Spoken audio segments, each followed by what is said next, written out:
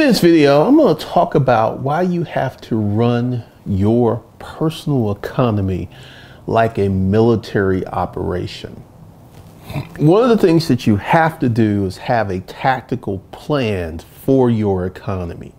Currently, we have many people out here who are just trying to build multiple streams of income, make money, just do certain things but there's no tactical plan. There is no cohesive marketing, selling plan.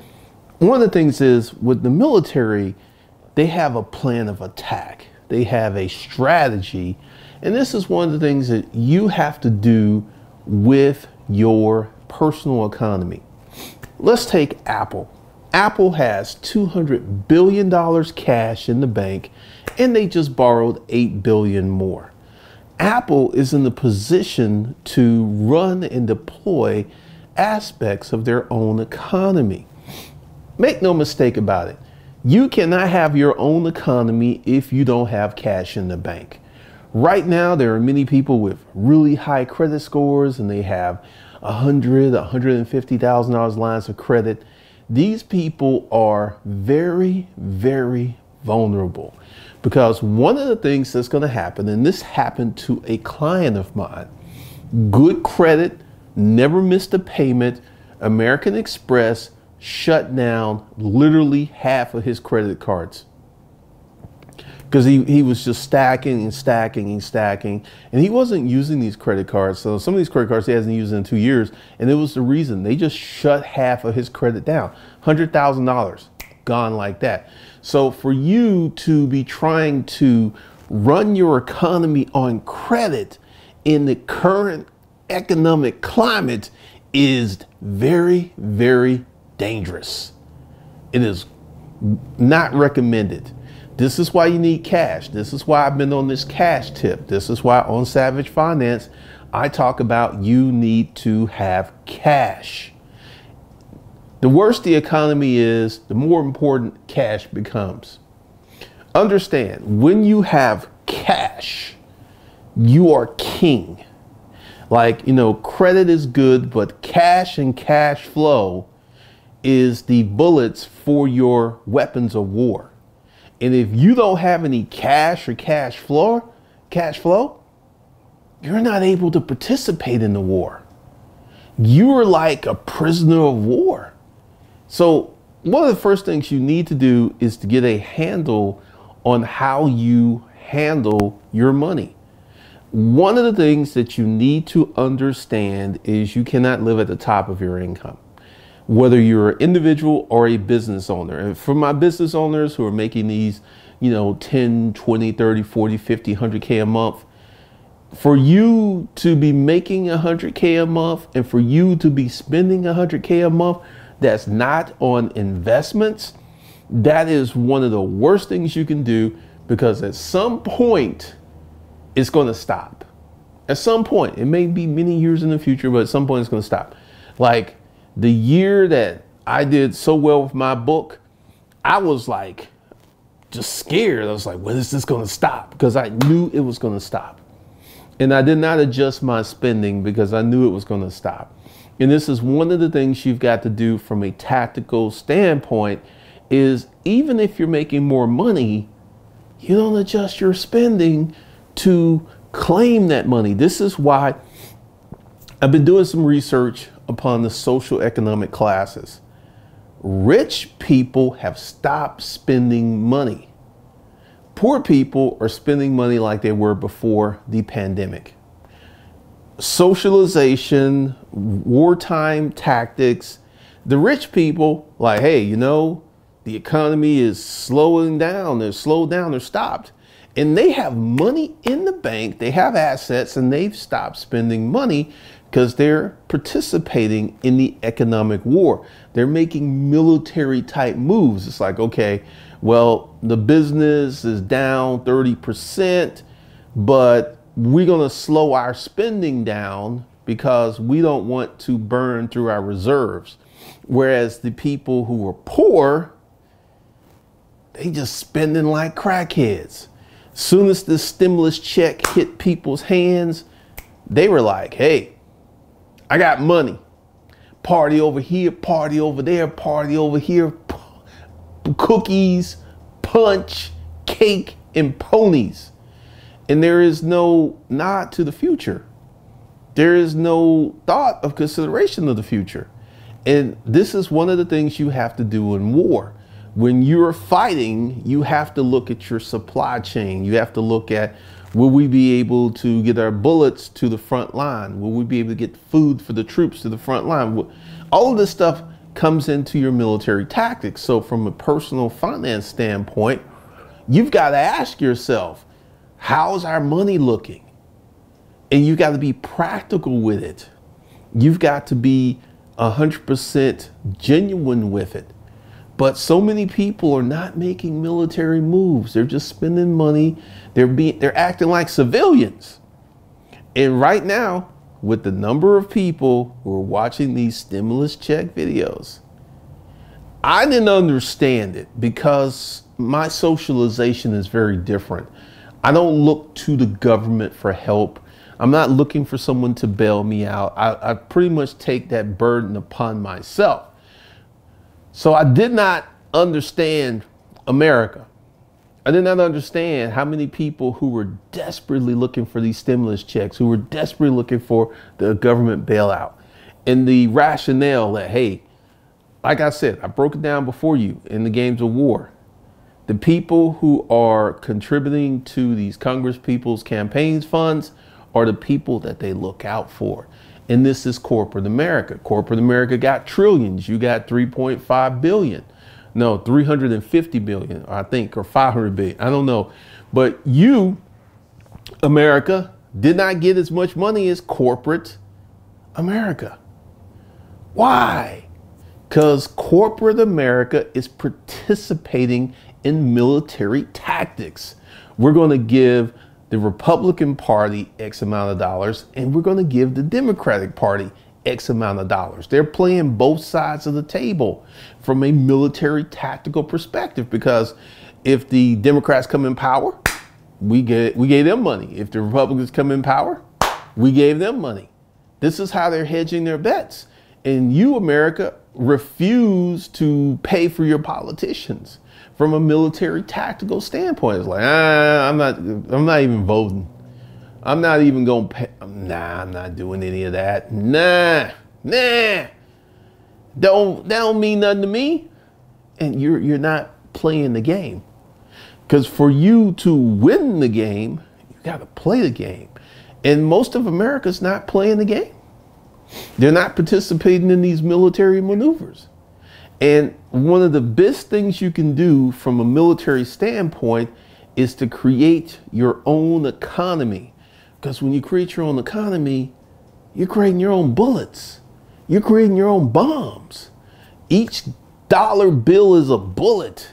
Each rack is a bomb. So the more bullets and bombs you have, the more you can participate into the military exercises. But if you don't have no cash, you can't play. Right now, I happened upon this forum where people were freaking out. All these folks who had got multiple credit cards and got all of this funding, and now they're like, oh man, Chase cut me off, American Express cut me off, Bank of America cut me off. See, understand, the Great Recession taught banks a lot.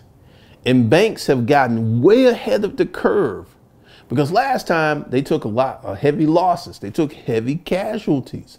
This time they're like, we ain't doing that. So if you are someone with no cash, and tomorrow I'm to have a video breaking down why it's better to have cash than an 850 credit score. I mean, there, there's so many people who are drunk on OPM, other people's money and that's other people's bullets. You gotta have your own bullets, man.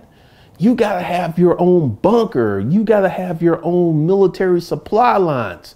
This is why ownership is so important. And right now, we, we have so many people who are building castles on someone else's beach, aka Amazon, aka Facebook, where or aka Instagram, or even YouTube. At any point, they can snatch the rug from under you because you don't have your own mili- you don't you don't have your own land, you don't have your own crops, you don't have your own money, you have no cash. So you are very very vulnerable in these war games. You are super vulnerable. You need some cash because right now the states are opening up. Unemployment is starting to tamp down. We went from 6.6 million people losing their jobs to 1.5 million, which is still twice as high as it was during the, the 1982 recession. Twice as high and it's much faster. So in this economic war, I know you don't want to start a business. Glendon, I just want a job. I just want to be off on the weekends. I want to chill with Big Betty, booty, Big Booty Betty, sexy Slim Susan. I just want to chill. I don't want to worry. I don't want to stress. I don't want to have this aggravation of managing a business and employees. I don't want to do with that Glendon, I just want to be free. America, I got a question for you. How can you be free when you're imprisoned by credit? See, I, have heard that argument. I don't want to start a business. I don't want to do that. I don't want to do the work. I don't want to do that. But you are a prisoner of your credit score. You are a slave to your credit score. I have people I know who freak out if their credit score changes 10 points in the wrong direction. It's like, ah. See, once again, to understand the credit game, you got to have a business. Why do you need a business? So you could go ahead and get yourself some business credit.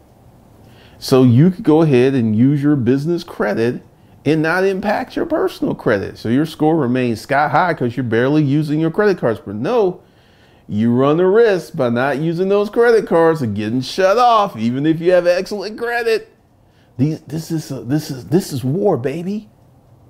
This is economic war, and if you're not playing the game, you're going to be a casualty of war. They coming for you. They gonna take your children. They gonna take Fido the dog. They gonna take your car. They gonna take your credit cards. They gonna take your house because you don't have any bullets. You have no bombs. So you want to start creating your own economy so you can begin to participate in this economic war. And you want to win because if you only got one stream of income, you're screwed. I, am like, unless you are like, got some super safe job right now, Who's safe? Police officers? No, they're getting fired left and right. Teachers? No, they're getting laid off. Nurses? They're getting laid off. Doctors? They're getting laid off. Having one stream of income can be very, very dangerous to your economic health. And this is why keep your job. Let me say this again. Never once have I said quit your job and go start a business. Keep your job. That's one stream of income then create a second stream of income while you keep your job and then you can begin to play in the war games because see here's the thing many people feel because i'm not participating in the war games that the war games are not going to touch you all right this pandemic we have like 50 million people unemployed these people were not participating but they got touched they got felt by the economic warfare. Because, see, the first round of layoffs were due to the pandemic. The second round of layoffs, layoffs are due to corporate America saying, hey, we can do more with less. We don't need Jill. We don't need John. We don't need Billy. We don't need them.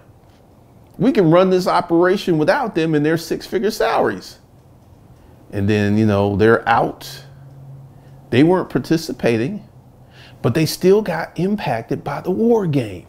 So just because if you feel that, hey, I'm not going to participate, and just like these older chicks, well, I'm not participating with this 21 year old. Actually, you are because the man that you're looking at is looking at you and he's looking at the 21 year old and he's doing some calculations. So you can go ahead and fool yourself that, hey, I ain't playing in this game. All right. All right. You'd be like this 50 year old cat lady who's like, I ain't playing in the game. I'm not playing. I'm not participating. But you be on the lonely train. You be riding the train to loneliness and despair with your non participating butt. See, just because you don't participate, it doesn't mean that you get off the hook. This economic war is impacting everyone. We have a global reset. We're having people who are being shifted down. Their standard of living is being shifted down.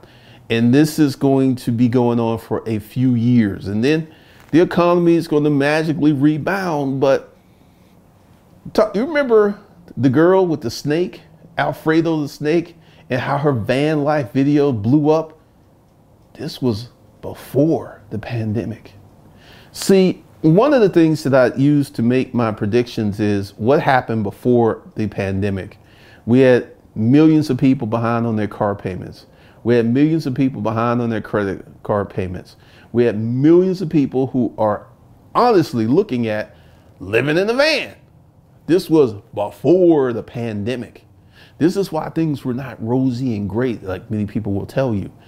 So these people who were late on their car payments, late on their credit cards, late on their mortgage, who were considering chucking it all, getting rid of their apartment and living in the van. Imagine what has happened to those people who with those considerations in those situations now. Imagine what went down. Imagine what's happening. Imagine what these folks are going through.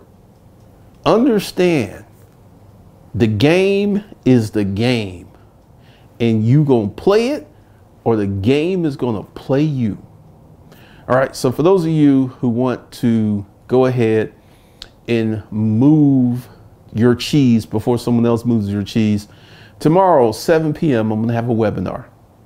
And I will be talking about how to retrain yourself, how to set yourself up for this new economy. And yes, you will need a business yes, you will need to start working on that while you keep your job. Links below. I'm giving you a little bit off. So go ahead and get this. And I will see you tomorrow at 7 p.m.